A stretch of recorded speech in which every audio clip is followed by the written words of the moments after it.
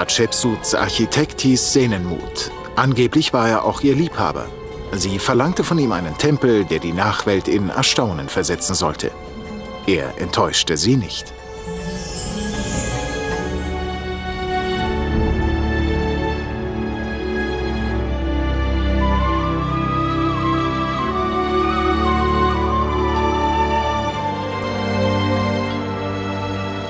Kein Baumeister im alten Ägypten hatte mehr Sinn für Dramatik als Senenmut.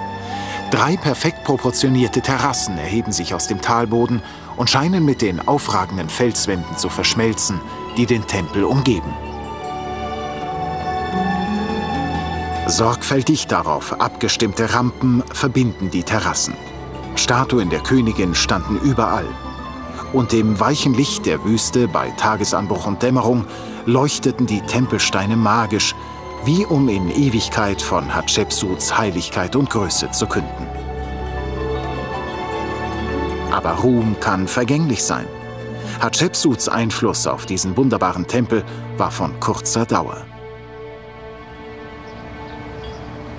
Die Arbeiten an diesem architektonischen Meisterwerk begannen im siebten Jahr von Hatschepsuts Regierung und dauerten dann noch 15 Jahre. Da der Tempel ihr zu Ehren gebaut wurde, findet sich ihr Bild überall. Hatschepsut als Pharao, Hatschepsut als Gott Osiris.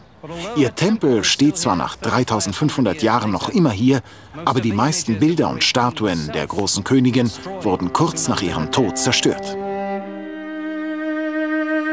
Thutmosis III. wurde 1483 v. Chr. Pharao von Ägypten.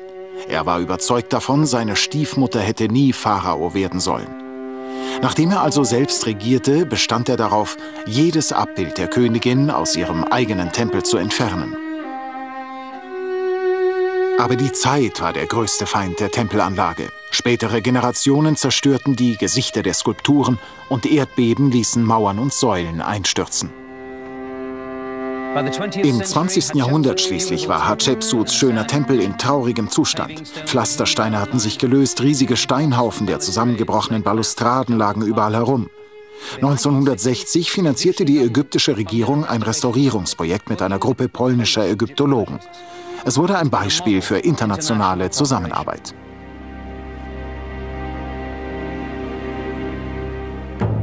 Wichtige Teile des Tempels, besonders auf der dritten Terrasse, lagen in Trümmern verstreut wie Kinderbauklötze. Diese Steine mussten zuerst zugeordnet und nacheinander wieder an ihren Platz gebracht werden. Wir konnten Tempelbezirke betreten, die seit mehr als 30 Jahren gesperrt waren. Das war eine seltene Gelegenheit, sich die Restaurierungsarbeiten aus der Nähe anzusehen. Alte Methoden werden angewandt, um die fehlenden Teile zu ersetzen. Steine werden aus den ursprünglichen Steinbrüchen geholt und hierher nach Der el-Bahri gebracht. Obwohl tausende von Jahren zwischen den ägyptischen Steinmetzen von heute und den früheren Handwerkern liegen, wird heute noch genauso viel Sorgfalt und Liebe zum Detail sichtbar.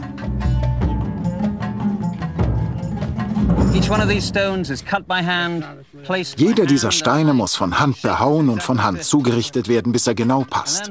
Und wenn es soweit ist, muss er Schritt für Schritt über diese Rampe auf die oberste Terrasse geschafft werden, die zum ersten Mal seit der Antike wieder im ursprünglichen Zustand sein wird.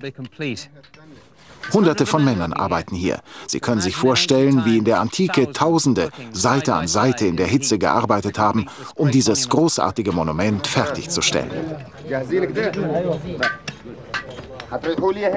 Bedingt durch die begrenzten Mittel gibt es hier keine modernen Maschinen. Die Arbeiter müssen sich deshalb mit den schweren Lasten abquälen. Um einen Rhythmus zu finden, singen sie ein Loblied auf den Propheten Mohammed.